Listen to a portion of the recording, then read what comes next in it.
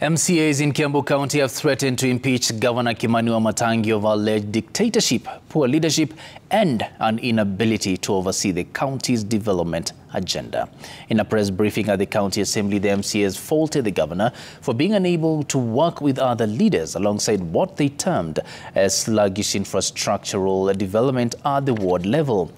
The leaders warned the governor to put uh, the county in order, saying they will dethrone him if he fails to address their concerns. Governor has a problem with decision making. Our county chief officers have not been in place since we were elected.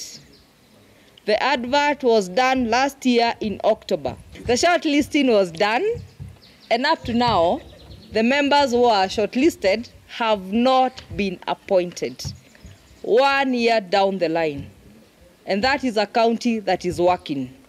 The situation is that in the county shows a dire need of re-evaluation. Across all the departments, the development is actually below par.